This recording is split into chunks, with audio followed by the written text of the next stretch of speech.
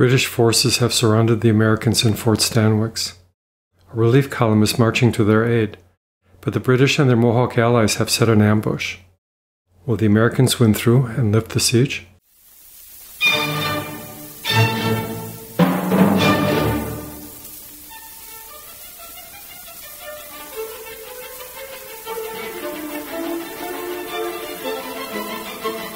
So, this is the first time playing this for me. It's got some unique features. I suppose, first of all, deployment. You're overstacked in Fort Stanwix, so you have to make some choices, don't you? Yeah. And then your garrison artillery, you have a choice whether to keep it intact like that or break it up into a wander and a tour. That is a big deal. And the opening setup, I think it says during the American Open. the garrison it can't be broken down into two placement counters. So you have some choices to make there. Yeah, and there's a lot to consider about that. One are the the retreat rules and the disruption rules. So I'm looking through them really closely, and what it says is that you can ignore a disrupted Stanwix if you're stacked with another unit. So I have to have basically the one with the five in there. Otherwise, he can get D'd right out of there. In uh, uh, Rule 4.32, I'm looking at dot number 245. It says units inside Fort Stanwix may ignore retreat results, but and they may disrupt or shatter in place if there is at least one disrupted non-artillery combat unit also in the hex. So you have to. Because what if you get D'd? Then all of a sudden you're you're going like this one, two, three, and you're leaving the whole thing open. You know. Yeah. So you have to have the one unit and the five unit in Stanwix in order to avoid that rule. Right. So it's got to be like that. In addition to that, you have to have the leader in there, of course. So the artillery unit, as I'm looking at it, if you break it down, you get three steps as opposed to two. Okay. So you're almost bound and determined to go like that and like that as your setup. Oh, let me run through this. I'm looking at the deployment again, make sure I did everything. The 9th, 3rd, Oneida, and place first units. Okay. The Oneida Indian are placed with any unit. Okay. So I have to determine that before you do yours also. Yeah, he's in the lower right. Now he's the only guy who can move, right?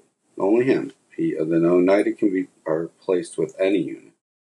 So the rest of the dudes have setup hexes. You and I went through the little exercise with the movement and at an earlier time. Yeah. What do the rules say about it? They say when using regular movement, all units must move their full movement allowance along the road without leaving hex gaps between units. Also, there's a note strategic movement is not allowed prior to the ambush. So you're using the regular movement rate, not the road rate. Mm-hmm. But you have to u- move your full allowance, but not leave any gaps. Well, then you're, you're constrained to, to the rate of movement of the slowest unit, in my opinion.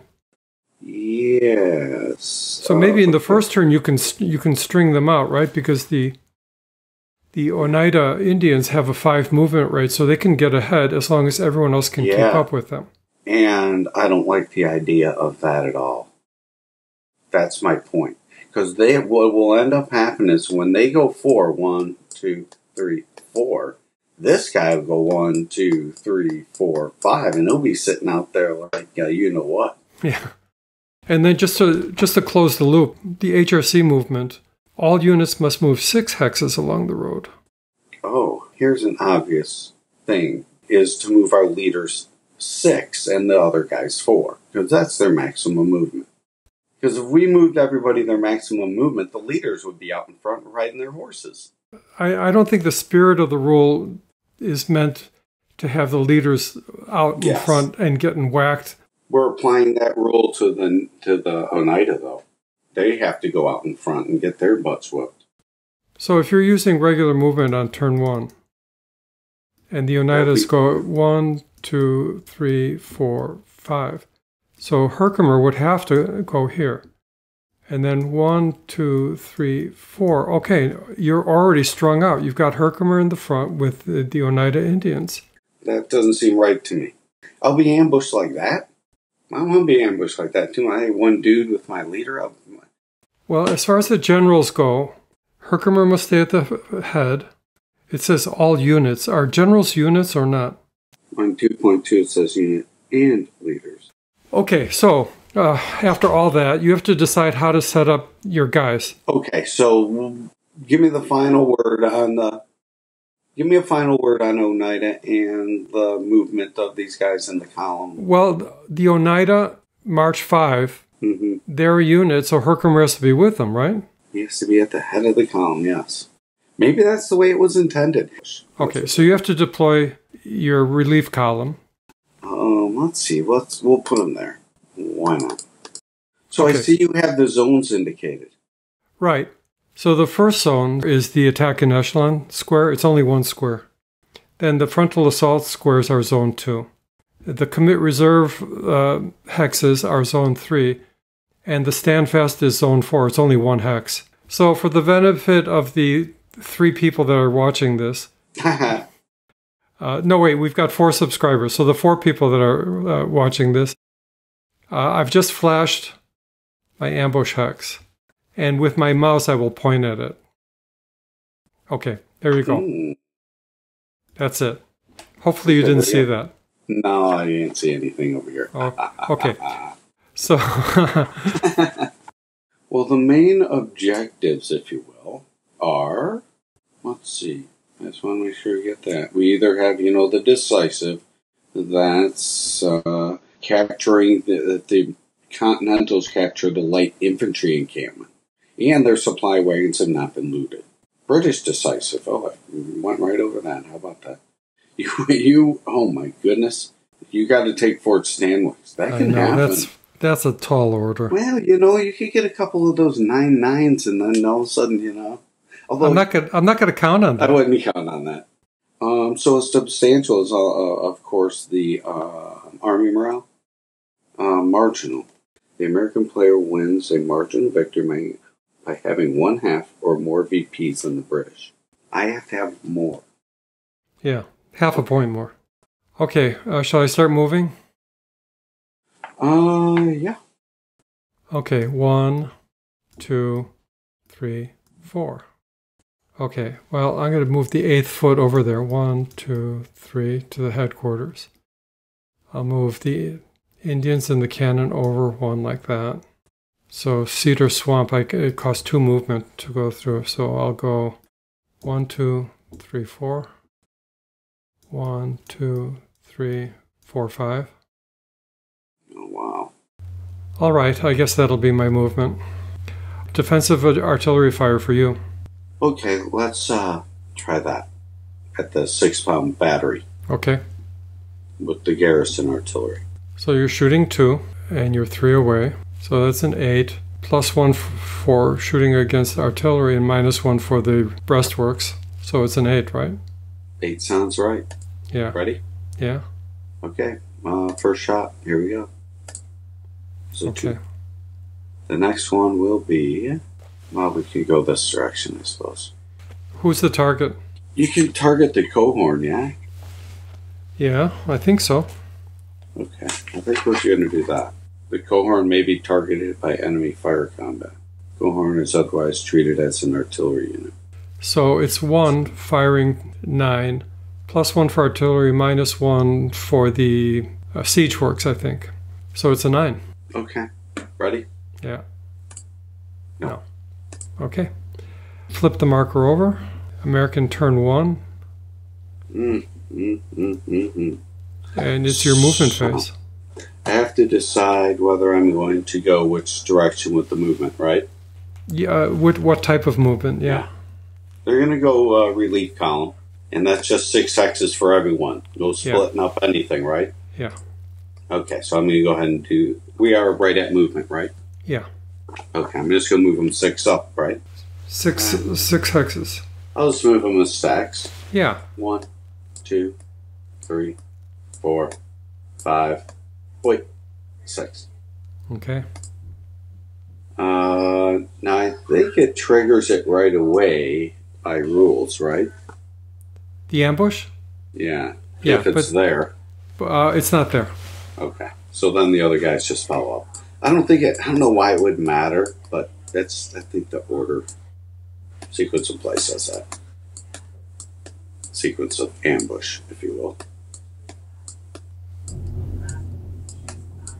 Okay. Alrighty. And then we got anybody in here that would like to move well. That's probably a bad idea. You don't want to take a stroll? Uh, you know, The river is beautiful this time of year. uh, no, we're not going to have a go of it, and uh, that'd be good. You can fire your guns, so yeah. Yeah, let's see if my cannons have anything to say. I think I don't count the mortar for purposes of strength points. One, two, three, four. I can't I can't shoot four away, it's only three away. So I have to shoot at the fort. Might as well combine everything into one go. So it's three strength points. Shooting at Fort Stanwix. So I need a seven but there's a minus two because of the fort, so that would be a nine, and then it depends who I'm going against. Well, let's go against the third New York. So I need a nine, right? The third New York, a nine. Yeah. Okay, here goes. Three. No good. All right. Anything else? Uh, my dude's barely flinched on that one, quite frankly. I don't know why. Okay, so next turn, right? Uh, yes. All right. Saint Le- uh, Saint Leger. One, two, three. One, two. Okay, the Cayuga will go one in the swamp like that. Okay, that's my movement. Artillery? Yeah. Well, this time we might have to do something. So he'll fire at the cohorn, the light battery. Which one? Oh, the light battery is doing it. Yeah, okay. that one right there. Yeah, yeah, So a nine plus one minus one. yeah, Okay, ready? yeah. No. No. So the other one, the other shot with the deuce. I, I pretty much have to go after the six pounder. He needs uh, eight nine, I think, on that one, maybe. Yeah, plus one minus one. He needs an eight. Okay, Okay, ready? Yeah. No. No. okay. All that, all that, and get nothing. Mm. So now it's your movement. Well, Fort Stanwix units will remain in place. Okay, so that Herkimer? leaves. Yeah. Yeah. Herkimer's gonna have to do relief column movement. Move them up six. Yeah. One, two, three, four, five, and six. You're good. Move them all up. Actually, I thought I thought maybe you might try to force him into that swamp. You know what I mean? Yeah. Which, is, you know, but who knows? Okay. Right on. That's the thing about it. Okay. Very good. Okay, now I get to shoot at you. I think I'll just do the same thing I did last time. Three, let's see, let's get the chart open. Uh, Three points against the 3rd New York. I mean, I can go after the garrison artillery, but the mortar only works against non artillery, so I'm not using it unless I fire at your units. And shooting at the, the Oneida militia is just as hard as shooting at the 3rd New York, so I might as well shoot at the 3rd New York. I need a 9 to hit. Okay. Okay, here goes. Here goes a nine.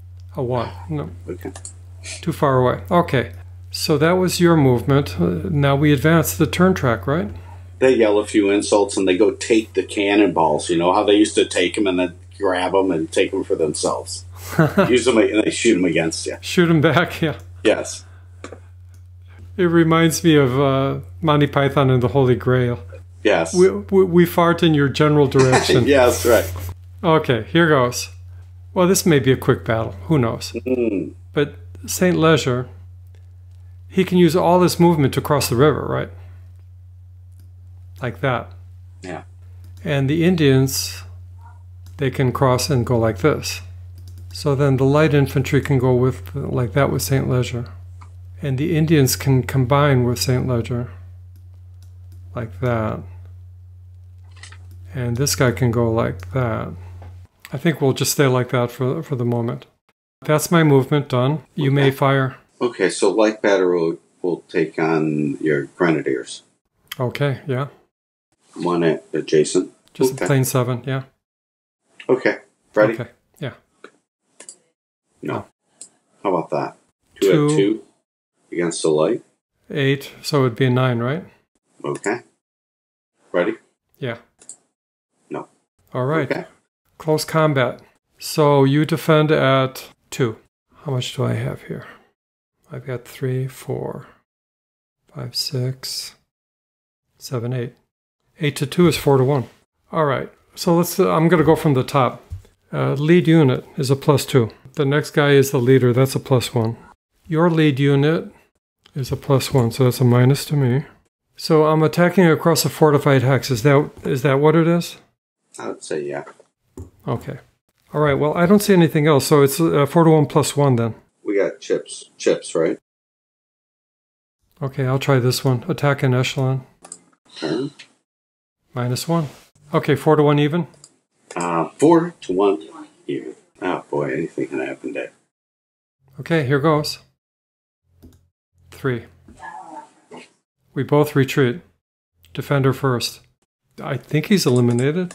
Yeah. I think he's captured, right? Not eliminated, yeah. Yeah, captured. Sure. So the other guy's got a roll, yeah? Yeah, the other guy's got a roll. Oh. He probably goes back with the other thing. Well, he can. Yeah, I think he can retreat. I would think he can go in there. Well, let's, let's double check. Yeah, right, right, right. Rule 5.4 maybe. Occurs during movement phase. So probably not. I, that's how I would read it. Okay, fine. Let's see. We'll do that. There. However, I also have to retreat. Oh, it's the lead unit has to retreat, right? So my lead unit was the Grenadiers, which I will move back. And then the other ones will roll. I'll start with the Huron on top. Uh, no, they retreat. The Abenaki, he stays, even with the minus one. Yeah, okay, the Seneca stays. The light infantry stays. The Cayuga stays. That would be close combat done. Your turn? Okay. Okay, bottom of turn three. Are, are you going to sortie? No, they're just going to sit there and wait on these guys. And these guys are going to uh, do the Herkimer relief. They're going to move up. Ready? Yeah. One, two, three, four, five, and six. You're okay. Okay, we'll throw all the rest of these guys in line. Trying to get up there.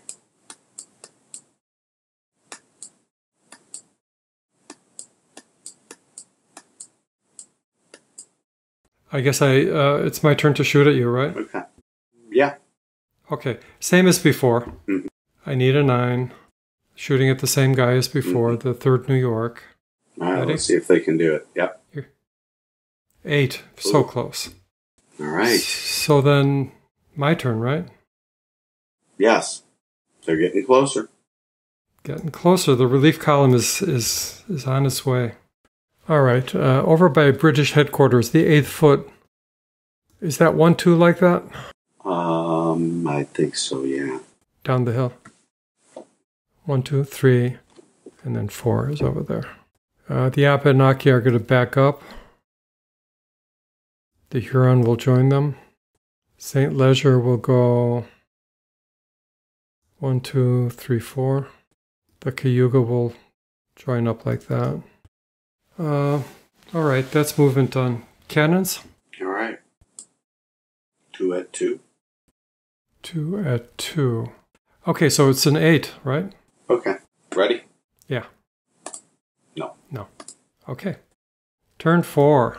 Well, those guys are going to sit where they are, and the uh, column will move Herkimer. They'll move six. Okay, ready? Yeah. And one, two, three, four, five. Stop. Right there. Wait a minute. Hold on. The ambush hex is 4412. Which one is that? Uh, oh, that's back a couple. That's so good. Right there at the top of the hill, like that. Okay, so you have to stop there because Okay. my guys are in 4412. Yours has to stop just before that. Okay. Right. Like Okay. that. Okay. We'll Okay. that thing there. Uh, Joseph Brant has to be there. So does Colonel Johnson.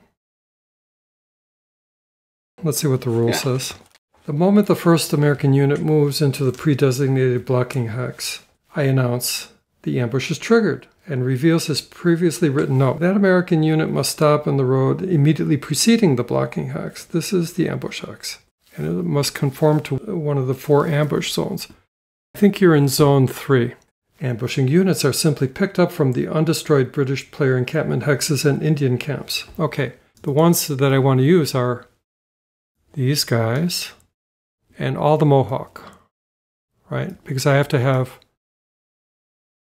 more Mohawk than not. So basically, I, I think I could just sort of pick them as I wish. So, for example, I can put this one here, and I can put one light unit here. So that's four points, four to two.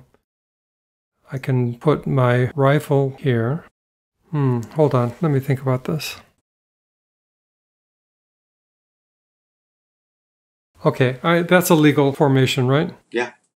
Okay, ambush resolution. Once all the units are placed, the British player rolls on the ambush success table. So I'm in zone three. I'm going to roll a two. Not good. I lose one morale.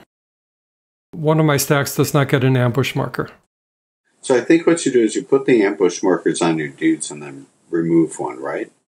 Okay, so then the way it would be is it would be like the, the ambush markers would be like this. Yeah. And then I have to remove one of them. The remaining ambush markers may now fire a 1 SP rifle shot. Yes. I get it. So if I take the ambush marker off the Jaeger, I don't get the ambush fire with the Jaeger, but I do get the rifle shot. Okay, so essentially I've got all my shots. Yeah. So I think what I'm going to do is the three hexes that have ambush markers on them, I'm going to mm-hmm. combine them. So that's three SPs. Shooting adjacent. I'm going to shoot at company A. So I need a, a four to hit, but then it's a you're in the woods, so I need a five to hit, and that's it. Okay. Here goes. A one. Not good enough. The rifle unit is going to use first fire. I get two shots at this, right? It's covered terrain and you have a flank open. Okay. So it's adjacent. It's- I need a seven, but you're in the woods, so it's an eight, but it's first fire, so it's seven. Okay, I'm going to roll twice. One, two. No, no hits. Now it's close combat. So for the first is against the the Herkimer stack. So it's Butler's Rangers and the Mohawk uh, next to the rifle. So it's Mhm. four, four to two, two to one. Four to two, two to one. Okay. Let's go down down the list. My lead unit will be Butler's Rangers, so that's plus one. Are these militia or not? Mine are. All defending militia, that's plus one to me. So plus one for the ambush, and plus one for the, the HRC movement. Okay, your adjusted morale is zero, and your leader is one. So I have it as two to one plus three, Okay. and then tactics. I'll try this. I'll try this one. Okay. I'm gonna try and I'm gonna try and turn your flank. Uh, frontal. Plus one to me. I figured at that point it didn't matter. So two to one plus four. Okay. Okay, here goes. Two to one plus four. Seven plus four is eleven. AC, what does that mean? That means you can choose which guy you want to capture. Well, I guess I'll capture a company. There you go. Okay, but I do get a momentum thing. I'm not going to forget it this time. I have to make a morale check. If I pass, I have to uh, retreat one. If I fail, I'm D. Ready? Yeah. Uh, He has to retreat one. Oh, you can't go into an enemy's ZOC. He has to go north then. Even if units are there, he has he has to go north. Okay, he has to go north. Okay. Yeah, like that.